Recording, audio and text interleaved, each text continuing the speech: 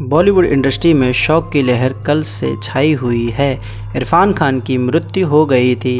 अब तक उनकी मृत्यु से फ़िल्म जगत उभर नहीं पाया था कि आज दिग्गज अभिनेता ऋषि कपूर हम सभी को छोड़कर चले गए। वैसे तो यह पिछले काफ़ी समय से कैंसर से लड़ रहे थे, पर मंगलवार शाम को सांस लेने की तकलीफ़ से के चलते इन्हें हॉस्पिटल में भर्ती कराया गया था। उस समय इनके पास इनका परिवार था। फिर तबीयत अचानक ख़राब होने के कारण इनका निधन हो गया। इनके निधन की जानकारी आज सुबह अमिताभ बच्चन ने दी है। इनके निधन के बाद कपूर परिवार में शौक का माहौल है।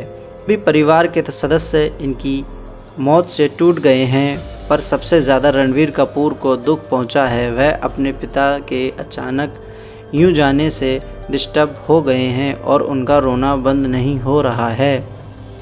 वह अपने पिता की मृत्यु से बहुत टूट गए हैं।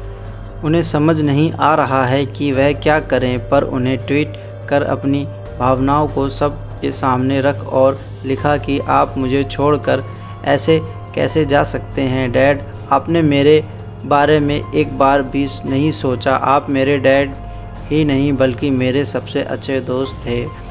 आपकी उंगली पकड़कर ही मैंने चलना सीखा। अब मैं आपके बिना कैसे चलूँगा? आपको बता दें कि रणवीर कपूर अपने पिता ऋषि कपूर के काफ़ी ज़्यादा क्लोज थे। दोनों के बीच आप बेटे जैसा नहीं, बल्कि दोस्त जैसा रिश्ता था। और इन दोनों की जोड़ी हमें फ़िल्म बेशरम में भी देखने को मिली थी, जिसमें दोनों ने बहुत ही अच्छी एक्टिंग की थी और अच्छा रिश्ता दिखाया था। तो दोस्तों, आप लोगों को रणवीर कपूर और ऋषि कपूर की यह फ़िल्म कैसी लगी थी, आप हमें कमेंट बॉक्स में कमेंट करके ज़रूर बताएँ। साथ ही, बॉलीवुड की मसालेदार खबरों के लिए आप हमें सब्सक्राइब करना ना भूलें।